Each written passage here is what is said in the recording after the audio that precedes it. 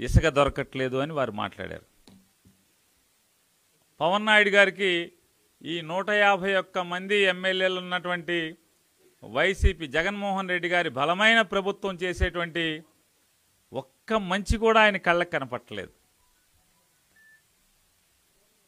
ఆటోలు తోలుతూ జీవించే వారికి పదివేల రూపాయల ఆర్థిక సహాయం తన పాదయాత్రలో చెప్పిన మాట ఈరోజు అమలు చేసిన మంచి పని పవన్ నాయుడు గారికి కనపట్టలేదు.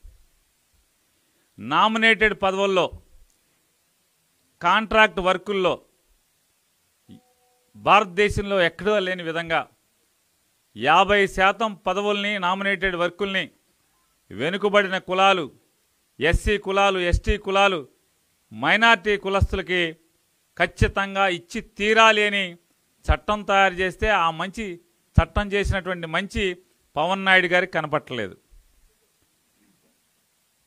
రైతు భరోసా కింద ప్రతి రైతుకి పన్నెండు వేల ఐదు వందల రూపాయలు. వ్యవసాయ పెట్టుబడి నిధి కింద రైతాంగం మొత్తానికి అందించడమే కాకుండా భారతదేశంలో ఎక్కడా లేని విధంగా కౌలు రైతుకు కూడా పన్నెండు వేల ఐదు వందల రూపాయలు అందిస్తున్నటువంటి మంచి పని పవన్ నాయుడు గారికి కనపడలేదు.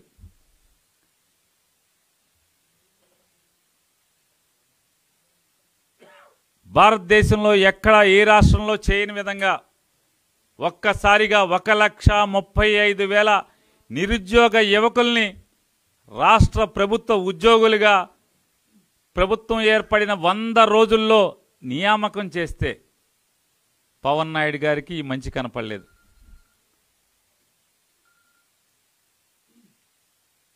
రాష్ట్రంలో ఉన్నటువంటి నేతన్నలందరికీ చేనేత మీద మగ్గం మీద ఆధారపడి జీవించేటువంటి ప్రతి నేతన్నకి సంవత్సరానికి ఇరవై నాలుగు వేల రూపాయలు. మగ్గం రిపేర్ కోసం జగన్మోహన్ రెడ్డి గారి ప్రభుత్వం చేస్తున్నటువంటి మంచి పవన్ నాయుడు గారికి కనపడలేదు. రాష్ట్రంలో ఉన్నటువంటి ప్రాణాన్ని పణంగా పెట్టి సముద్రంలో వేట చేసేటువంటి మత్స్య కార్మికులందరికీ సంవత్సరానికి వేట నిషేధ కాలంలో పదివేల రూపాయలు. చెల్లించేటువంటి మంచి పని పవన్ నాయుడు గారికి కనపడదు.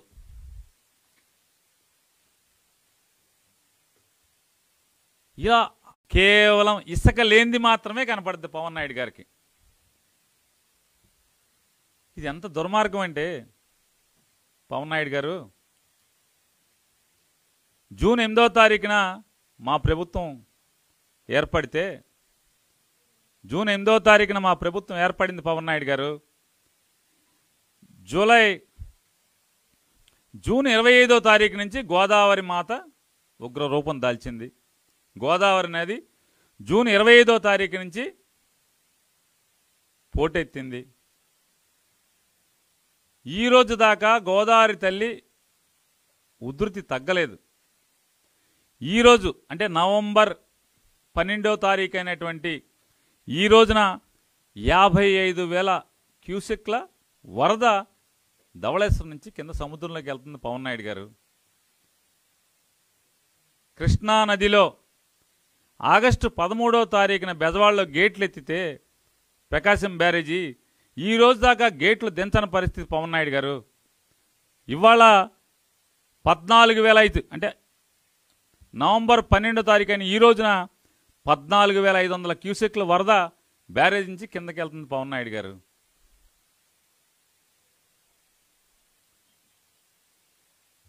ఇవన్నీ మీకు కనబడవు పవన్ నాయుడు గారు. కేవలం చంద్రబాబు గారు చెప్పిందే మీకు కనపడుతుంది. అది దాన్ని బట్టి ఆయన చెప్పిన మాట పుచ్చుకుని రోడ్ల మీదకి రావటమే మీ లక్ష్యం.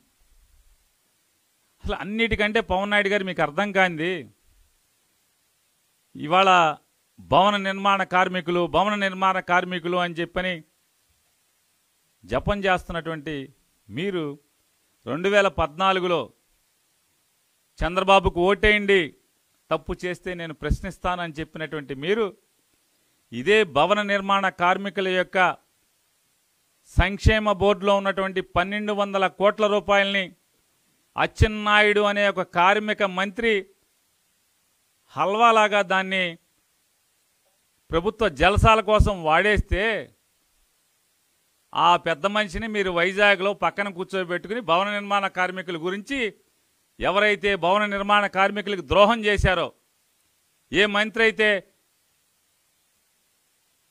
వాళ్ళ కష్టార్జితాన్ని వాళ్ళ రక్తాన్ని చెమటగా మార్చి వచ్చినటువంటి ఆదాయాల్లోంచి తీసినటువంటి బోర్డుకు వచ్చినటువంటి ఆదాయం పన్నెండు వందల కోట్ల రూపాయల్ని కరగేసినటువంటి ఆ డబ్బుల్ని దొంగిలించినటువంటి వ్యక్తిని పక్కన పెట్టుకుని మీరు భవన నిర్మాణ కార్మికుల గురించి మాట్లాడుతున్నారు. ఇంతకన్నా పాపం చేసే ఎవరన్నా ఉంటాడని ఇంతకన్నా పాపం ఇంకోటి ఉంటుందా పవన్ నాయుడు గారు?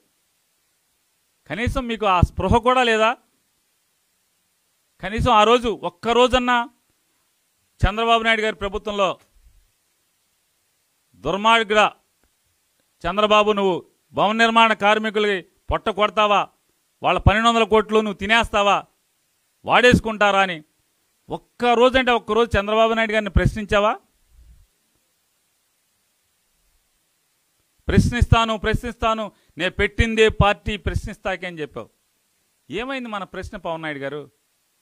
భవన నిర్మాణ కార్మికుల గురించి ఇవాళ ఇంతగా మాట్లాడుతున్న మీరు ఆ రోజు భవన నిర్మాణ కార్మికులకు జరిగిన ద్రోహాన్ని మీరు ఏం చేశారు? ఇవాళ ఇదేమన్నా జగన్మోహన్ రెడ్డి గారు భవన నిర్మాణ కార్మికులకి ద్రోహం చేయటానికి చేసిన కార్యక్రమం ఇది? ఎన్నడూ లేని విధంగా గోదావరి నదిలో జూన్ ఇరవై ఐదు నుంచి వరదలుంటే కృష్ణానదిలో ఆగస్టు పదమూడు నుంచి వరదలుంటే తద్వారా ఇసుక్కి ఇబ్బంది కలిగితే మీ భాష మీ వేషం ఎవరి కోసం? చంద్రబాబు నాయుడు గారి కోసం కాదు ఇది. ఇవాళ ఆయన చెప్తారు మీరు ఒప్పులు చేస్తే మంచి చేస్తే నేను ఎన్ని సినిమాలు చేసుకుంటాను రోడ్డు మీదకి రావాల్సిన అవసరం అవసరం లేదని. ప్రజలు మాకు వచ్చి చెప్తున్నారు కాబట్టి నేను బజార్ల మీదకి వస్తున్నానని. ఏ ప్రజలు చెప్పారు? గతంలో చాలామంది ప్రజలు మనకు చెప్పారు కదా. మరి భవన నిర్మాణ కార్మికులు పన్నెండు వందల కోట్ల రూపాయలు మా ఇది ఒబ్బేస్తున్నాడని చెప్పని గగ్గోలు పెట్టారు అయ్యా మా ఎత్తేసాడు మా ఎత్తేసాడు చంద్రబాబు అని చెప్పని భవన నిర్మాణ కార్మికులు ఊరు వాడా తిరిగారు. కాగితాలు పుచ్చుకుని తమరకు కూడా ఇచ్చారు. మరి అప్పుడెందుకు రోడ్డు ఎక్కలేదు?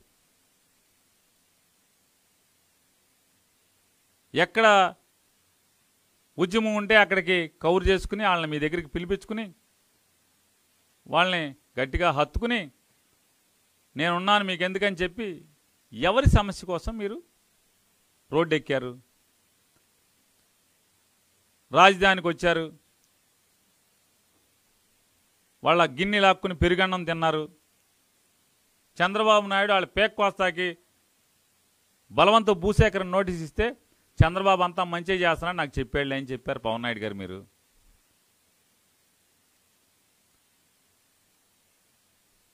ఇన్ని రకాల మీకు జగన్మోహన్ రెడ్డి గారి ప్రభుత్వం వచ్చిన దగ్గర నుంచి ఇన్ని పనులు చేస్తే రోజు ఖాళీగా ఉన్నట్టుగా మీరు ఒక పదహారు పదిహేడు నుంచి ఒక పాతిక ముప్పై ట్విట్టర్లో ట్వీట్లు కొడుతున్నారు కదా.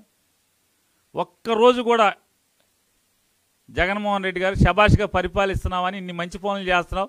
నేను కూడా ఊహించలేదు జగన్మోహన్ రెడ్డి గారు నువ్వు ఇన్ని చేస్తావని చెప్పిన ఒక్క ట్వీట్ కొట్టావా? ఎందుకు పవన్ నాయుడు గారు ఇట్లా మాట్లాడతారు మీరు? ఇవాళ ఆయన వారు చెప్తారు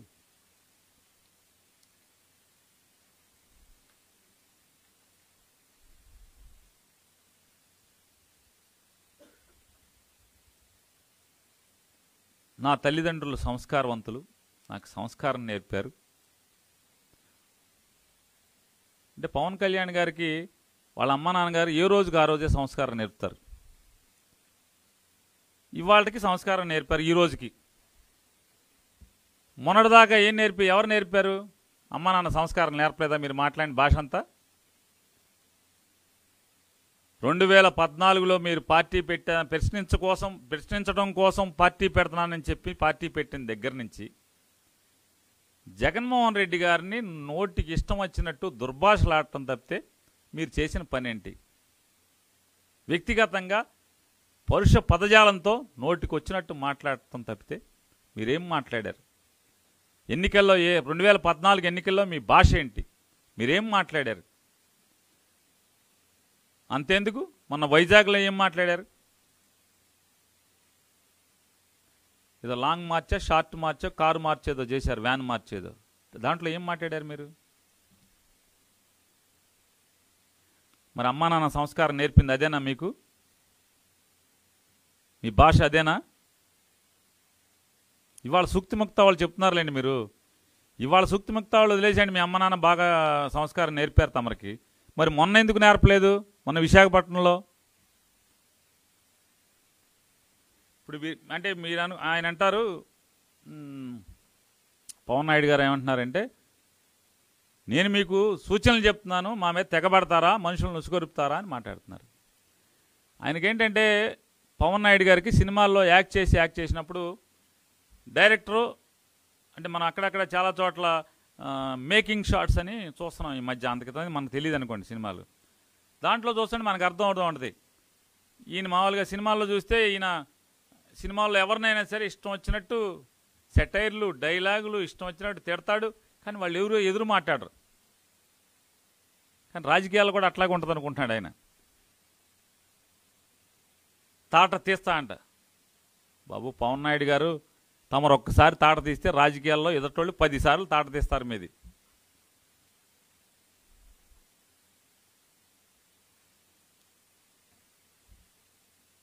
జగన్మోహన్ రెడ్డి గారు నా మూడు పెళ్ళిళ్ళ వల్ల మీరు జైలుకి వెళ్ళారా?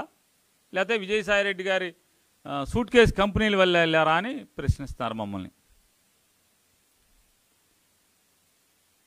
ఈ రాష్ట్రంలో ఊహ తెలిసినటువంటి ప్రతి పిల్లవాడికి కూడా జగన్మోహన్ రెడ్డి గారు ఎందుకు జైల్లో ఉన్నాడు పదహారు మాసాలు? ఎందుకు కేసులు వచ్చినాయి అనేది అందరికీ తెలుసు. ప్రపంచం అంతా తెలుసు. సుష్మా స్వరాజ్ గారు పార్లమెంట్లో పార్లమెంట్ సాక్షిగా ఆవిడ మాట్లాడారు. జగన్మోహన్ రెడ్డి గారు రాజశేఖర రెడ్డి గారు బతుకున్నంత వరకు జగన్మోహన్ రెడ్డి గారు రాజశేఖర రెడ్డి గారు మంచివాళ్ళు. రాజశేఖర రెడ్డి గారు చనిపోయి జగన్మోహన్ రెడ్డి గారు పార్టీ నుంచి బయటికి వెళ్ళంగానే ఆర్థిక నేరగాడును ముద్దాయి అయిపోయాడా అని చెప్పి ఆవిడ పార్లమెంట్లో మాట్లాడారు. ఇవన్నీ మన పవన్ నాయుడు గారు అసలు మాట్లాడేది ఏంటంటే సోనియా గాంధీ గారికి చంద్రబాబు నాయుడు గారికి ఇవాళ జైల్లో ఉండి పాప పరిహారం కోసం ఎన్ని తప్పులు చేసినన్ని వెనకాలే వచ్చేస్తూ ఉంటాయి. ఆ మన జైల్లో ఉన్న చిదంబరం గారి తప్పుడు చెప్పుడు మాటలిని రబ్బర్ బొమ్మగా తప్పుడు కేసులు కట్టినటువంటి లక్ష్మీనారాయణ ఇద నారాయణ ఒక ఆయన నీ పక్కన ఉన్నాడు కదా సంచిలో చేసుకుని కూర్చున్నాడు పక్కన. అతనికి నీకు తెలియదా కేసులు ఎందుకైనాయో పదహారు నెలలు ఎందుకున్నారో నాయుడు గారు.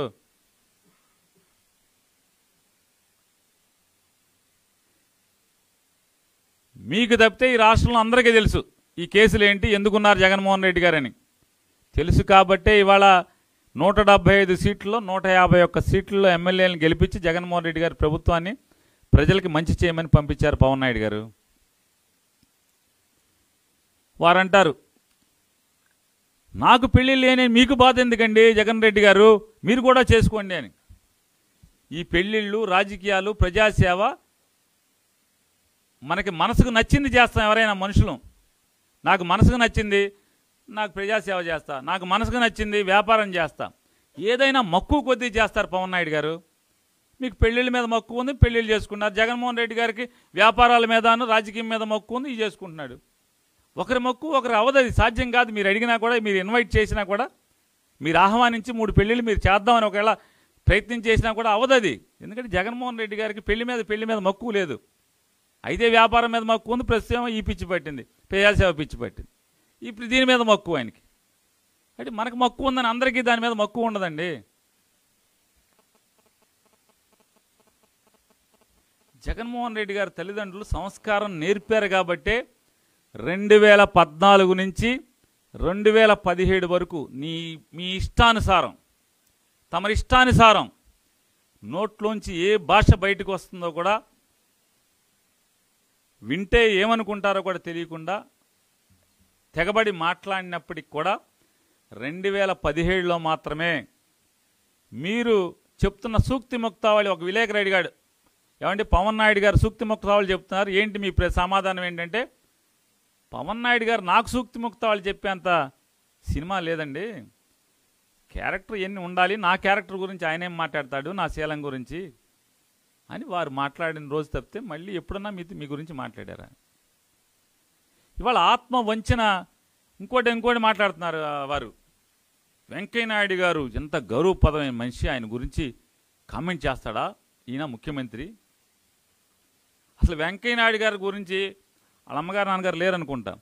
ఆయన పెంచిన వాళ్ళు కూడా కనీసం అంత అసహ్యంగా తిట్టుంటారు. ఎప్పుడు కూడా ఎవరైనా మామూలుగా ఆయన తప్పులు చేసి ఉంటే కూడా అంత అసహ్యంగా మీరు తిట్టారు. పా అసలు వెంకయ్యనాయుడు గారి జీవితంలో అంత ఘోరంగా అంత అవమానకరంగా అసలు ఎవరు తిట్టుండరు?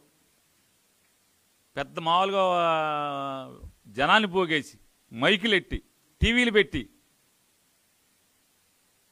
వెంకయ్యనాయుడు గారిని అంత అమర్యాదగా అసలు జీవ అసలు ప్రపంచంలో ఎవడన్నా మాట్లాడి ఉంటాడు అసలు తమరికన్నా?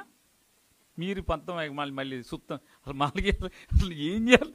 అసలు ఇది మళ్ళీ ఎవడని అడుగుతాడని గబగబలు లేచి పారిపోతాం మళ్ళీ. ఇవన్నీ అడుగుతారని నాలాంటి వాడు ఎవడొకడు అడుగుతాడు కదా అని. అసలు ఏంటిది అంతా? వెంకయ్యనాయుడు గారు గురించి మీరు అంతంతగా మాట్లాడుతున్నారు మీరు. ఇక జగన్మోహన్ రెడ్డి గారు ఎవరి గురించి ఏం మాట్లాడలేదు. ఏదైనా హిపోక్రసీ ఉండకూడదు సమాజంలో మనం బతుకుతున్నామంటే. నేను ఏదన్నా ఒకటి మనం మాట్లాడామంటే దానికి అర్థం పరమార్థం ఉండాలి సార్థకత ఉండాలి. ఇప్పుడు నేను చంద్రబాబు నాయుడు గారు నేను ఆయనకు ఒక కొడుకు నాకు ఒక కొడుకు. పిల్లల్ని బాగా కనపోతాం తప్పు అని అంటే మరి ముందు నేను కనాలి కదా. ఈ బాగో వింటాకి నేను చెప్తా కూడా బాగో. అట్లాగే ఏదైనా మనం సూక్తి ముక్తావాళ్ళు చెప్పేప్పుడు మనం కూడా కొంచెం ఉండాలి. వారేమన్నారు? తన పాదయాత్రలో ఊరూరు బజారు బజారు సందు సందు ప్రతి చోట తిరిగి పేదవాళ్ళతో మాట్లాడుతున్నప్పుడు అనేక వర్గాలతో మాట్లాడుతున్నప్పుడు అనేక వయస్సులో వారితో మాట్లాడుతున్నప్పుడు యువత యువకులు చాలామంది తనతో మాట్లాడింది జగన్మోహన్ రెడ్డి గారితో. అన్నా నేను ఇంజనీరింగ్ చదివాను. ఫీజు రీయింబర్స్మెంట్ పుణ్యమాని మేము పేద కుటుంబం. మేము ఎస్సీలం మేము బీసీలం.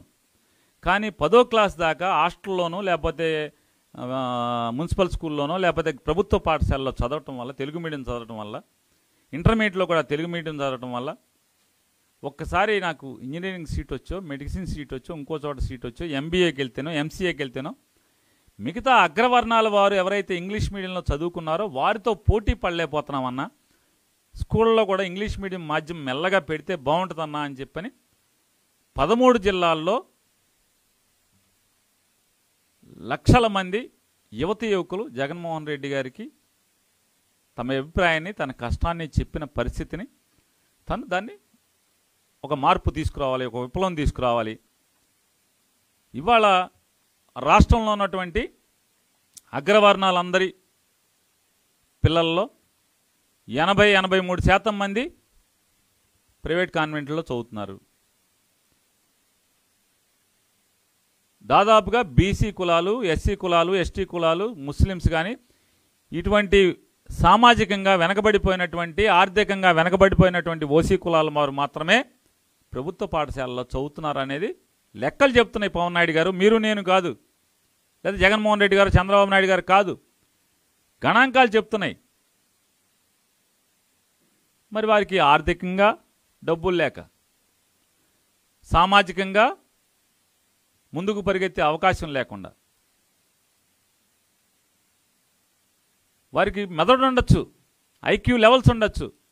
కానీ తర్ఫీదు సానబట్టేది చిన్నప్పటి నుంచి లేకపోవటం వల్ల ఇవాళ ఉన్నటువంటి నమస నవ సమాజంలో ప్రతిదీ ప్రతిదానికి కంప్యూటరీకరణ ప్రతిదానికి ప్రతి చోట కంప్యూకరణ కంప్యూటరీకరణ అయినప్పుడు మరి దాంతో ఆ ఉద్యోగ అవకాశాల కోసం బ్రతుదేరు కోసం నిత్యం పోరాటం చేసే పరిస్థితిలో వెనకబడిపోతున్నామన్నా కేవలం కులపరంగానే కాదు వృత్తిలో నిలబడేదానికి కూడా అన్న వెనకబడిపోతున్నామన్నా అని చెప్పని చెప్పిన మీదట తన ఒక ప్రయత్నం మొదలు పెడితే పోనీ అతనేమన్నా ఒక్కసారి అంతా పెడతా అని చెప్తున్నారు ఆయన.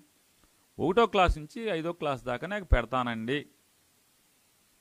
అది కూడా రేపు జూన్ నుంచి అంటున్నాడు. ఇవాళ ఇవాళ మామూలుగా ఇవాళ చెప్పి వాళ్ళ నుంచి మొత్తం ఇంగ్లీష్ పుస్తకాలు సప్ప ఇచ్చేసి చదివేయమంటున్నారా? రేపు జూన్ మాసం నుంచి పెడతానండి. ఈలోపు జనవరి ఒకటో తారీఖు నుంచి టీచర్లందరికీ తర్ఫీదు ఇస్తానని చెప్పి ఆయన చెప్తున్నారు. ఒకటో క్లాస్ నుంచి ఐదో క్లాస్ దాకా పిల్లలకి పాఠాలు చెప్పేటువంటి పోనీ ఈ టీచర్లు అందరూ కూడా ఎవరు తక్కువ కాదండి నాయుడు గారు. నాయుడు గారు ఈ ఒకటో క్లాస్ నుంచి ఐదో క్లాస్ దాకా పాఠాలు చెప్పే వాళ్ళందరూ కూడా ఎంఎస్సి బీఈడులు ఎంఏ బీఈడులు ఎంకామ్ బీఈడులు చదువుకున్నటువంటి ఉన్నత విద్య అభ్యసించినటువంటి అర్హత కలిగి వాళ్ళు ఒక అనేక కాంపిటేటివ్ ఎగ్జామ్స్లో పోటీలు పడి లక్షల మంది ఉద్యోగం రాస్తే వేల మంది ఉత్తీర్ణత సంపాదించినటువంటి బుర్రన్న వాళ్ళందరూ కూడా ఇవాళ టీచర్లుగా ఉన్నారు. అయినప్పటికీ వారందరినీ కూడా జనవరి మాసం నుంచి స్కూల్ తెలిచే వరకు కూడా ఇంగ్లీష్ పాఠ్యాంశాలు ఎలా చెప్పాలి ఇంగ్లీష్ మాధ్యమంలో ఎలా చెప్పాలి పిల్లలకని చెప్తే అసలు మరీ ఇంకా ఇదేంటంటే అసలు తెలుగు సబ్జెక్ట్ తీసేసినట్టు. ఆయన రెండో సబ్జెక్ట్ అనేది ఇంగ్లీష్ మా- తెలుగు అనేది ఎట్టి పరిస్థితుల్లో ఒక సబ్జెక్టుగా ఉండాలి అనేది నియంత్రణతో కూడినటువంటి తెలుగు విద్య నేర్పించేదానికి ఆయన నిర్ణయం తీసుకుని ఉన్నాడు. తెలుగు అనేది ఒకటో క్లాస్ నుంచి ఇంటర్మీడియట్ దాకా ఖచ్చితంగా ఐచ్ఛికం కాదు. ఖచ్చితం. ఖచ్చితంగా చదివి తీరాలి ఒక సబ్జెక్టు. అసలు ఏదో అన్న సామెతగా చంద్రబాబు నాయుడు గారు నాయుడు దున్నపోతు ఈనిందనగానే వెంటనే దోణ కట్టేద్దామని పరిగెత్తుకు వచ్చేస్తున్నారు పవన్ నాయుడు గారు. అసలు దున్నపోతు ఏంటి? ఏంటమేంటి ఏంటి? దున్నపోతు ఎలా ఎంతదని చేసే పరిస్థితి కూడా పవన్ నాయుడు గారు చేయట్లా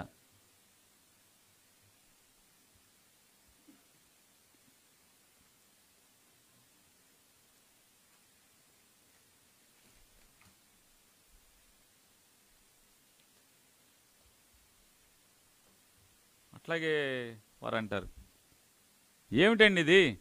నేను కాపు నాయకుడిని కాదు. నేను ఏమన్నా ఆయన చెప్తాడు అంటే జగన్మోహన్ రెడ్డి గారిని నోటుకు వచ్చినట్టు దూషిస్తే ఆయన్ని మళ్ళీ తిరిగి కాపులతో అసలు అనకూడదు. ఒకవేళ అన్నా కూడా కాపులతో కాకుండా వేరే కులాలను కూర్చోబెట్టి మాట్లాడుతున్నారు ఆయన. అంటే ఆయనకి నర నరాన కుల భావన అనేది ఎంత జీర్ణించుకుపోయిందనేది మనకు అర్థమవుతుంది. అంటే ఎదుటి మాట్లాడేవాడు ఒక రాజకీయ పార్టీ నాయకుడు నేను వ్యతిరేకించేటువంటి నేను దూషించేటువంటి నేను తోలనాడేటువంటి ఒక రాజకీయ పార్టీలో సభ్యుడు అనే చోట్ల అతను. వాడి కులం ఏంటి కావాలి నీకు? ఆ మధ్య సానియా మీర్జానా ఆవిడ ఎవరో కొట్టంగానే అందరూ కులం కోసం ఎదిగినట్టుగా పవన్ కళ్యాణ్ గారికి వైసీపీలో ఎవడు నా గురించి మాట్లాడితే ఆవిడ కులం ఏంటి కావాలి? అంతేకాని ఎదటోడు మాట్లాడేవాడు ఒక రాజకీయ నాయకుడు కష్టంలో ప్రజలతో మమేకమై ఎమ్మెల్యేగా గెలిచినోడు అది అక్కర్లేదు ఆయనకి. ఇటు మాట్లాడేవాడు కులం కావాలి.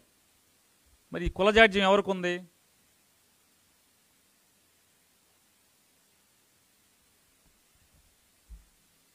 కాపులకి రిజర్వేషన్లు ఇవ్వనన్నారు మీరు.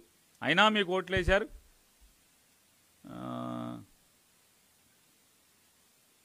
అని చెప్పి వీరు మాట్లాడతారు. చంద్రబాబు నాయుడికి ఆయన చెప్పారు చంద్రబాబు నాయుడు గారు. నా ప్రభుత్వం వచ్చిన ఆరు నెలల్లో కాపులందరినీ బీసీ చేస్తానని చెప్పి చెప్పారు. అప్పుడు కూడా ఈయన ఈయన బలపరిచాడు అక్కడ. చంద్రబాబు ఏది చెప్పినా చేస్తాడు లేకపోతే నేను ప్రశ్నిస్తాను మీరు చేయండి అని పవన్ నాయుడు గారు బలపరిచారు.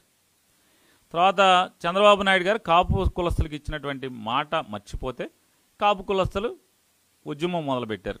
మీరు చెయ్యాలి మమ్మల్ని మోసం చేస్తామని ఆ ఉద్యమం కొంచెం తీవ్రతరం దాటంగానే వెంటనే షూటింగ్లోంచి బయటకు వచ్చాడు ఈయన. షూటింగ్ చేసుకోవాలి కదా? వచ్చేసి అసలు కాపులకి రిజర్వేషన్ అవన్నీ ఏం మాట్లాడబాకండి. అసలు మనం ప్రతిభ ఆధారంగా మనం బతకాలి తప్పితే ఈ అడుక్కోవటం ఏంటి?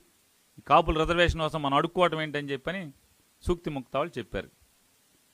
మళ్ళీ ఎలక్షన్లకు వచ్చేప్పటికీ నేను మన ప్రభుత్వం వస్తే కాపు రిజర్వేషన్స్ చేస్తామన్నమాట. అదేంటి ఇదేంటి? ఒక నిబద్ధత ఉండదా మనకి? అంటే కాపులు తమరికి కాపు కులస్తులుగా కంటే ఓట్ల రూపంగానే తమరు కనబడుతున్నారు. పెద్ద సంఖ్యలో ఓట్లు ఉన్నాయి కాబట్టి ఆ ఓట్లకి గేలం ఎలా వేయాలి?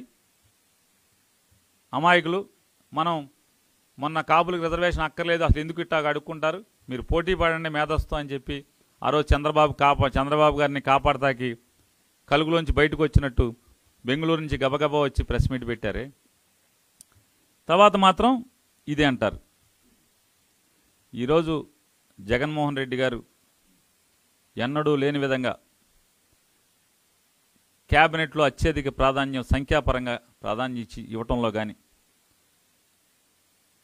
సంవత్సరానికి రెండు వేల కోట్ల రూపాయలు చొప్పున పదివేల కోట్ల రూపాయలు చదువుకుంటాకి లేదా వ్యాపార పరంగా వారి కాళ్ళ మీద వారు నిలబడతాకి కాపులకి ఏర్పాటు చేయటమే కాకుండా భవిష్యత్తులో కాపులకి మేళ్ళు చేయాలనేది ఎన్నో పథక రచనలో వారున్న పరిస్థితి మీకు అర్థం కాదు చెప్పినా మీ బుర్రకెక్కదు ఎందుకంటే మీ మెదడంతా కూడా చంద్రబాబు గారి మీద ప్రేమతో వారి మీద వాత్సల్యంతో వారి మీద మమకారంతో మీ బుర్రంతా నిండిపోయింది కాబట్టి ఇక మేము చెప్పినా ఏం చెప్పినా మీకు ఆ గోల ఎక్కే పరిస్థితి ఉండదు.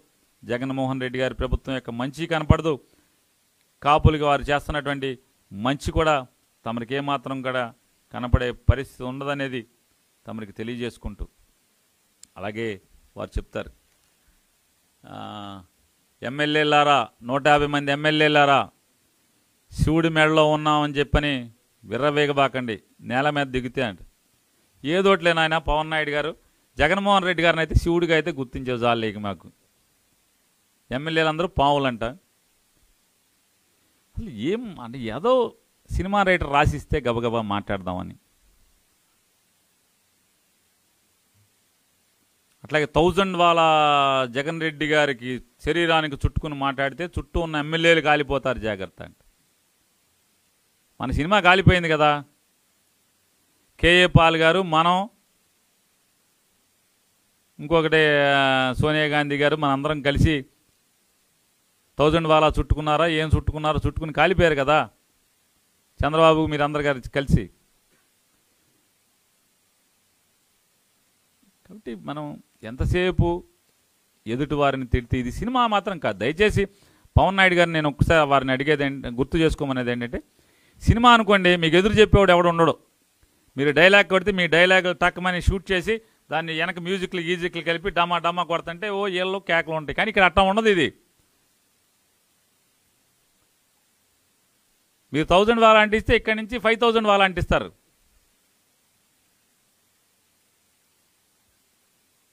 అలాగే ఆయన చెప్తాడు. జగన్ రెడ్డి గారికి చరిత్ర తెలియదండి జగన్ రెడ్డి గారికి చరిత్ర ఏ చరిత్ర తెలియదంటే మీకు తెలిసిన చరిత్ర మాత్రం తెలియదు పొరపాటును కూడా. పవన్ నాయుడు గారికి తెలిసిన చరిత్ర ఏంటంటే వారు భగత్ సింగ్ గారు ఆత్మహత్య చేసుకున్నాడు ఇరవై ఆరు ఏళ్ళకి అని చెప్తాడు. ఆ చరిత్ర మాత్రం జగన్మోహన్ రెడ్డి గారికి తెలియదు నిజంగా తెలియదు తప్పేమని మాకు తెలియదు అటువంటి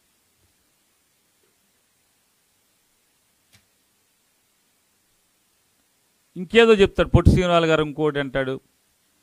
అని చెప్తాడు? ఏంటి? Man Friday. Man Friday. మనం ఏదైతే ఏది పడితే అది మానచ్చు. అంటే మీరు మాత్రం మ్యాన్ ఫ్రైడే అని వ్యక్తిత్వ హననం చేయొచ్చు.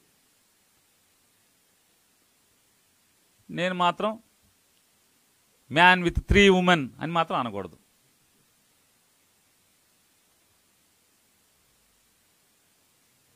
అంతే కానీ ఇప్పుడు నువ్వు మ్యాన్ ఫ్రైడే అంటే నేను మ్యాన్ విత్ త్రీ ఉమెన్ అంటా కదా.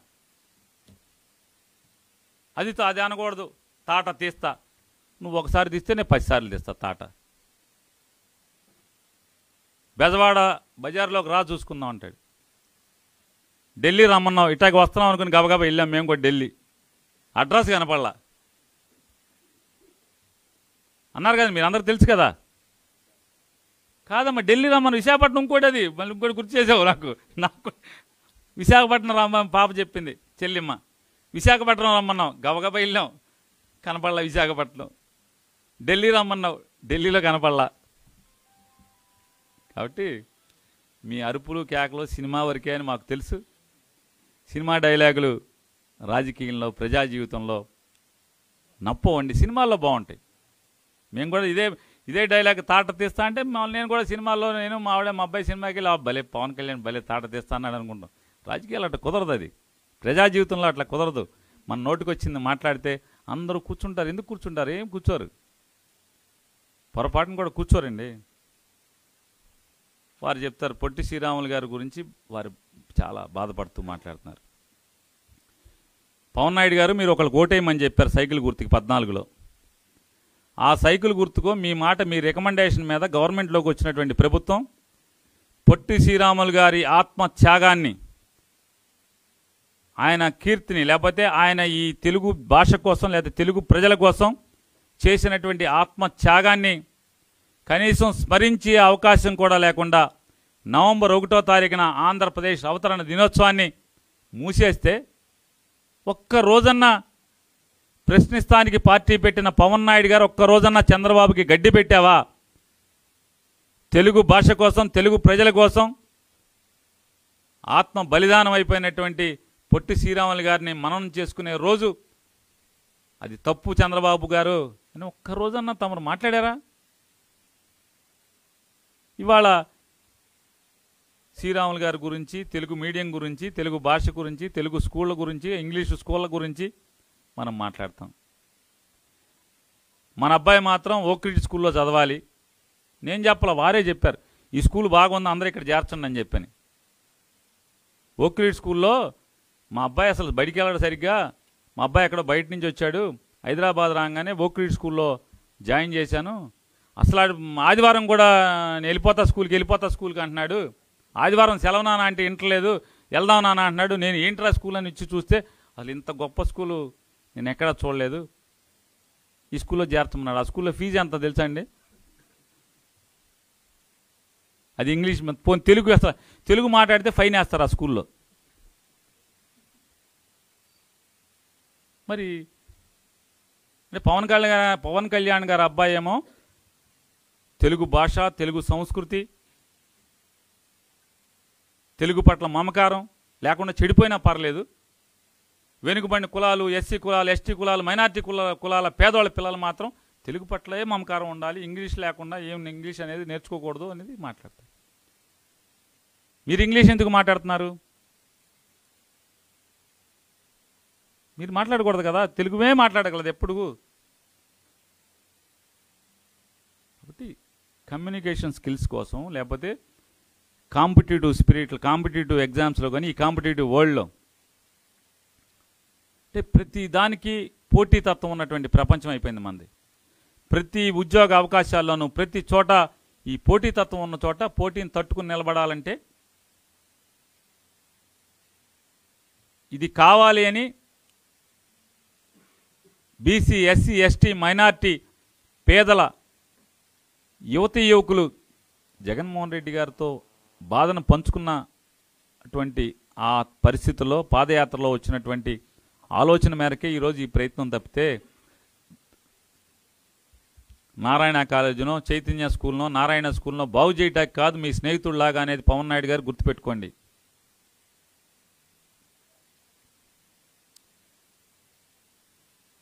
ఆయన చెప్తారు రెంట్కి చెడ్డ రేవడైపోతారంట. ఇంగ్లీష్ మీడియం ఒకటో క్లాస్ నుంచి ఐదో క్లాస్ దాకా పెడితే ఒకటో క్లాస్ నుంచి ఐదో క్లాస్ దాకా పెడితే పిల్లలు ఏదైనా నేర్చుకునేటువంటి వయసు అది. ఆ వయసులోనే నేర్పే ప్రయత్నం చేస్తాను ఒకటో క్లాస్ నుంచి ఐదో క్లాస్ దాకా. అది కూడా టీచర్లందరికీ జనవరి ఒకటో తారీఖు నుంచి ఆంగ్ల మాధ్యమంలో బోధించటానికి తర్ఫీదు ఇచ్చి రిఫ్రెషింగ్ కోర్సులు అన్నీ కూడా తరఫీ శిక్షణ ఇచ్చిన తర్వాత మాత్రమే జూన్లో ఆంగ్ల మాధ్యమం ఒకటో క్లాస్ నుంచి ఐదో క్లాస్ దాకా మాత్రమే అది కూడా రే తెలుగు సబ్జెక్టు ఖచ్చితంగా చేసి మాత్రమే చదువు చెప్తారండి పవన్ నాయుడు గారు. కొంచెం ఇది అర్థం చేసుకోమని మీ అందరికి. ఎందుకంటే మీకు నేను చెప్పినా మీకు ఎక్కదు. ఎందుకంటే నేను నాకడే చెప్పా తమరికి. చంద్రబాబు గారు మీ బుర్ర అంతా చంద్రబాబు గారు నిండిపోయి ఉన్నారనేది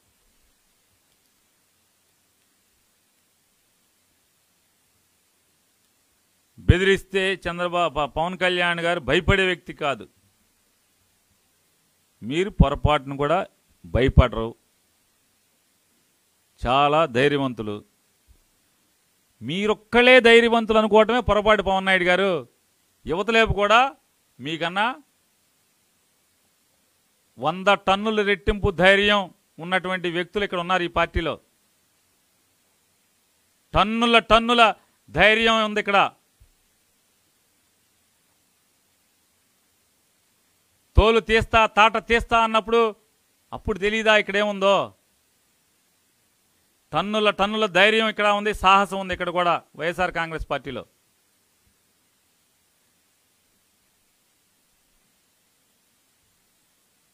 మీరు మాట్లా అంటే ఆయన చెప్తారు నేను మాట్లాడితే సిగ్గుతో మీరు ఏమైపోతారో తెలియదు ఇప్పుడు దాకా రెండు వేల పద్నాలుగు నుంచి మీరు మాట్లాడుతున్నది అదే ఇంకా అంతకన్నా దిగజారి మాట్లాడతానంటే ఇక అసలు మరి సమాజం ఏమైపోద్దో తెలియదు మరి. ఈ సమాజంలో రాజకీయాల్లో దిగజారి మాట్లాడుతున్నదే మీరు. అసభ్యంగా పరుష పదజాలంతో మాట్లాడుతున్నది మీరు.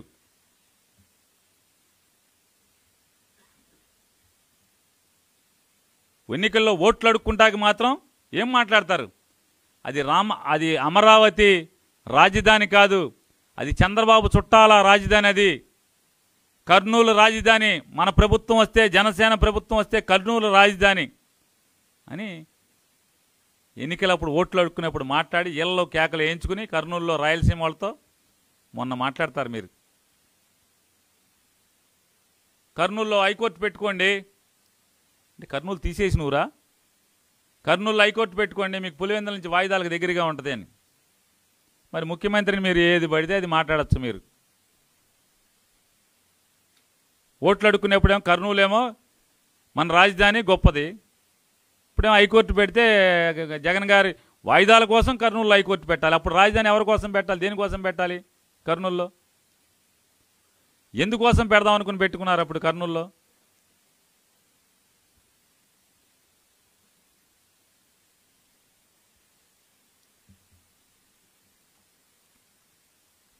ఏడుకొండల వెంకన్న స్వామి సుప్రభాతం కూడా ఇంగ్లీష్లో తయారు చేయించండి.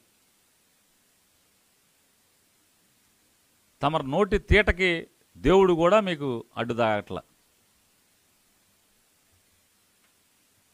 వెంకటేశ్వర స్వామి సుప్రభాతం ఏ భాషలో ఉంటుందో తమకు తెలుసా? ఏదో అన్న సామెతగా ఉంటుంది కాదండి. అంటే మనిషి ఏమో మనం దేవుడి దగ్గర ఉంటాం చె- చిత్తం ఏమో చెప్పుల మీద ఉంటుంది బయట చెప్పులు ఎవడ కొట్టే అట్లా ఉంటుంది కదా. ఈయనేమో వెంకటేశ్వరం స్వామి గుడికి వెళ్ళి మామూలుగా ఫోటోలు ఎవరైనా తీస్తున్నాడా తీయట్లేదా షూట్ చేస్తున్నారు లేదా ఆటి మీద ఉంటుంది మనసు దేవుడి దగ్గర ఏముందో తెలియదు కదా.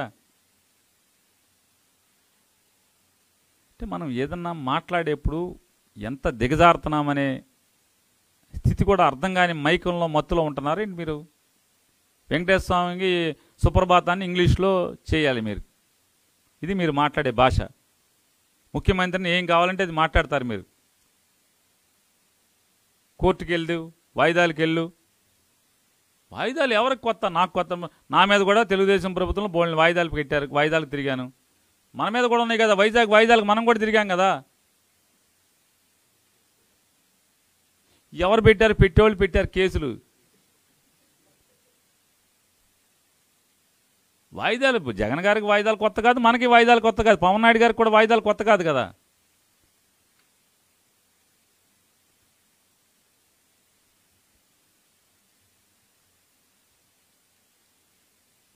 కాబట్టి మనం ఏదన్నా మాట్లాడితే సమాజ హితం కోసం ఏం మాట్లాడుతున్నాము? బాగుందా భాష? బాగోలేదా? మనం ఎవరి గురించి ఏం మాట్లాడుతున్నాం? నిన్నేం మాట్లాడాం? ఇవాళ ఏం మాట్లాడుతున్నాం? అనే పరిస్థితి లేకుండా మాట్లాడే పరిస్థితి. అదొకటే కాకుండా వారు చెప్తారు.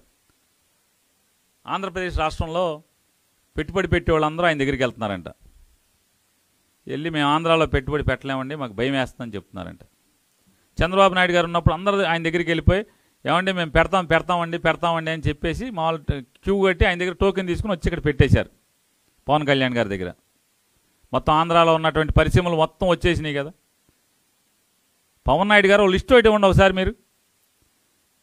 మీరు ఓటు అడిగి వీడికి ఇదిగో ఇతనికి ఆయనకు ఓటేయండి చంద్రబాబు నాయుడు గారికి. నేను ప్రశ్నిస్తానని చెప్పి మీరు ఓటు అడిగారు కదా. ఆ ప్రభుత్వంలో ఎన్ని పరిశ్రమలు వచ్చినాయి ఎక్కడెక్కడ వచ్చినాయి ఒక చీటు ఒకటి ఇస్తే పోనీ వెళ్ళొద్దాం అందరం కలిసి.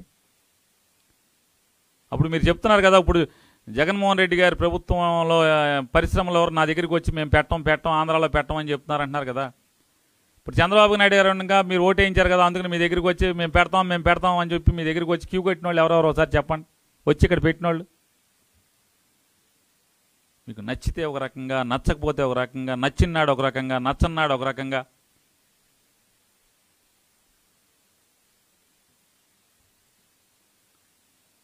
జగన్మోహన్ రెడ్డి గారు ఏ రోజైనా ఈ రోజు కాదు అధికారం ఉన్నా లేకపోయినా ఒక సాధారణ పార్టీ నాయకుడిగా ఉన్నా లేదా ప్రజల ఓటేసి ప్రతిపక్ష నాయకుడిగా ఉండమని చెప్పి ప్రతిపక్ష నాయకుడిగా ఉన్నా లేదా ఈరోజు ముఖ్యమంత్రిగా ఉన్నా ఏ రోజు కూడా స్థాయి మరిచి వ్యక్తిత్వ దూషణకు దిగటం కానీ నిందలేయటం కానీ స్థాయి దిగదారి ప్రవర్తించలేదనేది పవన్ నాయుడు గారికి మర్యాదపూర్వకంగా తెలియజేసుకుంటూ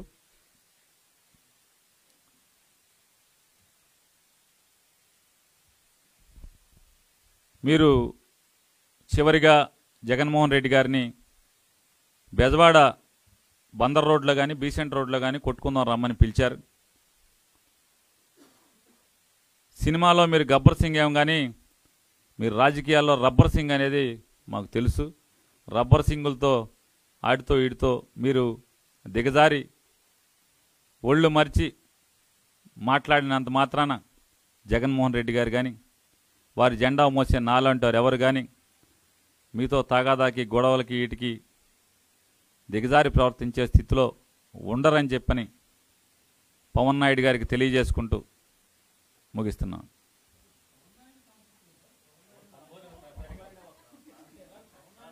ఆయనలాగా పారిపోదా ఎట్లా చూస్తున్నా? చెప్పండి. చెప్పండి చెప్పండి. మీకేం కావాలి క్లారిటీ? వన్ బై వన్ ఒకటి తర్వాత ఒకటి. జగన్ రెడ్డి ఎవరో అర్థమైన వాళ్ళందరికీ పవన్ నాయుడు అర్థం అవుద్ది. జగన్ రెడ్డి అనేవాళ్ళు ఎవరైనా జగన్ రెడ్డి అనేది ఎవరో మీకు అర్థమైతే పవన్ నాయుడు అర్థం అవుద్ది. జగన్ రెడ్డి అర్థమైందా? పవన్ నాయుడు కూడా అర్థం అవుద్ది. పవన్ కళ్యాణ్ గారి సంబోధనలో ఉన్నటువంటి జగన్ రెడ్డిలో ప్రత్యేకత కనపడలేదు కానీ నా పవన్ నాయుడులో ప్రత్యేకత గుర్తించినందుకు మీ అందరికీ ధన్యవాదాలు. ఈయన కూడా పవన్ కుమార్ పవన్ కళ్యాణ్ నాయుడు కదండి?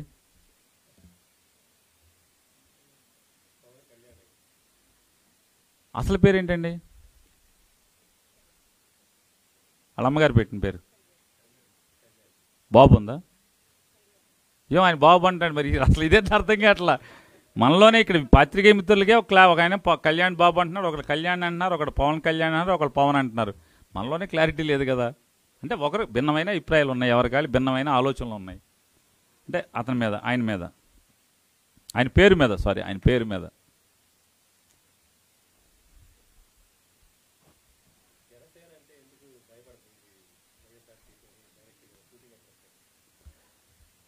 అంటే జనసేన భయపడుతున్నట్టుగా మీ దగ్గర ఏమన్నా నా దగ్గర వీడియోలు కానీ ఏమైనా ఉన్నాయా? మీ దగ్గర ఏమన్నా ఎక్స్రే మెషిన్ లాంటిది ఏమైనా మెషిన్ ఉందా? స్కానింగ్ మెషిన్ ఏమన్నా సిటీ స్కాన్ అట్లాంటిది ఏమన్నా? మేము మేము భయపడుతున్నట్టు మీ దగ్గర ఏమన్నా ఉందా? ఎలా మీరు కన్క్లూజ్ ఇప్పుడు నేనంటే జనం ఓట్లు వేసినప్పుడు చదువు లేనోడు విజ్ఞానం లేనోడు ఎవడు పడితే ఆడు పదవిలోకి వచ్చేస్తాడు. కానీ పాత్రికేయ మిత్రులు అలా కాదు కదా. మీరందరూ అతను అన్నాడా ఆయన ఆయన నమ్మేసి మీరా? ఆయన నమ్మటం ఏంటండి మీరు బయలు ఆయన రోజు రోజుకు రకంగా మాట్లాడుతుంటాడు. నచ్చితే ఒక రకం నచ్చపోతే ఒక రకం. ఇప్పుడు ఇదే చంద్రబాబు నాయుడు గారిని గుంటూరులో మీటింగ్ పెట్టి తండ్రి కొడుకుని ఎంత అసహ్యంగా తిట్టాడు. ఇవాళ ఏం మాట్లాడుతున్నాడు? ఇవాళ వాళ్ళందరినీ డయాస్ మీదకి పిలిచి వాళ్ళందరినీ కూర్చుని ఉద్యమం చేస్తాను కలిసి పని చేస్తామని మాట్లాడుతున్నాడు. వెంకయ్యనాయుడు గారిని మొన్న ఎలా తిట్టాడు అంతకితం కాకినాడలో. ఇవాళ ఏం మాట్లాడుతున్నాడు వెంకయ్యనాయుడు గారి గురించి? కాబట్టి ఒక మనిషి ఒక తరహా ఉంటాడు. ఆ తరహా మనిషి చెప్పిన దాన్ని మనం పరిగణలోకి ఎలా తీసుకుంటాం?